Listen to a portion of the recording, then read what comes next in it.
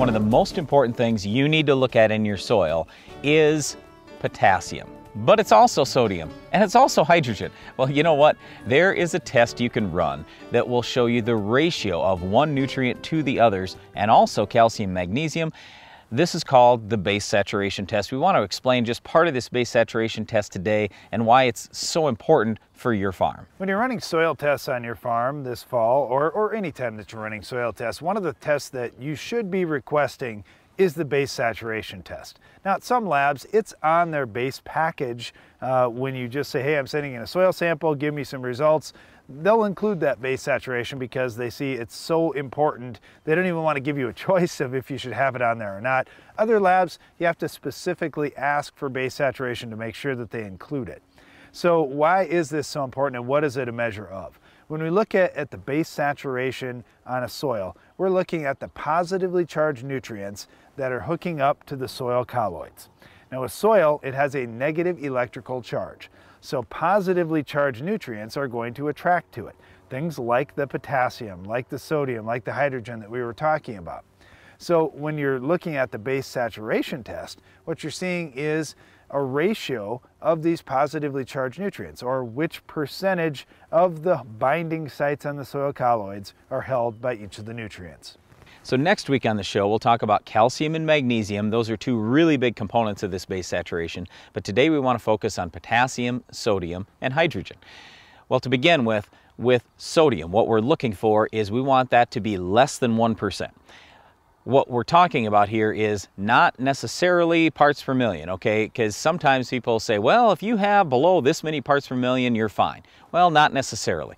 We're looking at as a total percentage in the soil, if sodium is less than 1% of these five nutrients, then we're usually in pretty good shape. When we see that sodium level climb above 1%, what that very often means is we have too much sodium in the soil, and when we start getting up to really high levels, let's say 8 or 10 or 15% sodium, we've got sodic soils. That's bad. Just remember, sodium, uh, ends up becoming salt, and salt kills soil. Salt kills microbes. Salt kills plants. Salt is one of the worst things you can possibly have in the soil.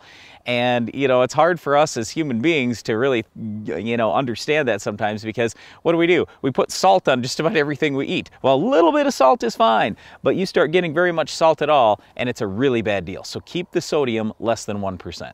One other nutrient we want to keep in relatively low concentrations in the soil is hydrogen. And I realize you may be saying, hydrogen? Well, that's part of water. We definitely need to have some H2O out there.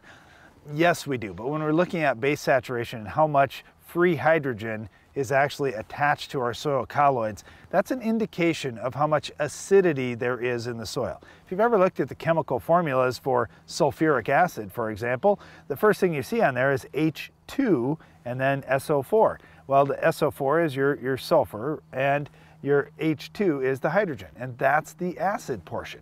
So when we're looking at soils, when we get high levels of hydrogen in our soil, especially when they get above 10% on a base saturation test, we've got an acidic soil that we need to fix. Now it's an easy fix, just adding lime to a soil can take care of this. There's a chemical reaction that happens when you add lime, which is calcium carbonate, to a soil that has lots of free hydrogen. Well, the hydrogen binds with one of the oxygens in the carbonate and makes water. So we can get rid of excess hydrogen fairly easy. The big thing though is for all the soil microbes to work and for good nutrient availability within your soil, you have to keep that base saturation hydrogen less than 10%. One quick thing too with hydrogen, it can actually get to zero and that's not necessarily a bad thing, but in most crops we'd like to see that soil pH in the 6.3 to 6.8 range, so we want a little bit of hydrogen.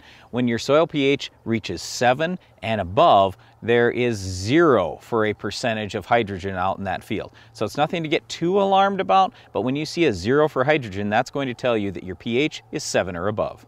Well, I don't know of too many farming situations where I see people adding lots of sodium on purpose or adding lots of hydrogen on purpose uh, other than watering their crops. But I do know of almost every situation where farmers are focused on potassium. So potassium in the base saturation test is a real critical thing. The question is, uh, when we're looking at soil tests, do we look at parts per million? Do we look at base saturation? And what levels are we targeting for our crops? All right, you can sure look at parts per million, and that's fine if you've got a really light soil. But in most cases, we're just focused on that base saturation test. We want to see for most crops, this is not all crops, but for most crops, we want to see 4% to 8% base saturation K. If you're in that range, you're usually in pretty good shape. One of the problems in a lot of the Midwest is you'll see 1%, 1.5%, maybe 2% base saturation K.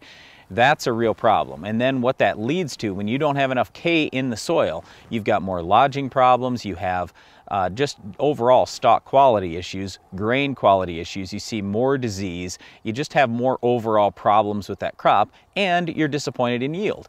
So this is one of the big things we've been doing on our own farm is trying to work that soil test base saturation K up over 4%. And to be quite honest with you, we're at 4% now in a lot of our fields, and we're now going for the next level. We've gotten some really good yields. Now I want really great yields. So now we're gonna start our progression moving up to 6% base saturation K. You just don't wanna get over 8%. Once you start getting over 8%, then that actually can be a limiting factor too. You have problems with other nutrients, a number of other issues.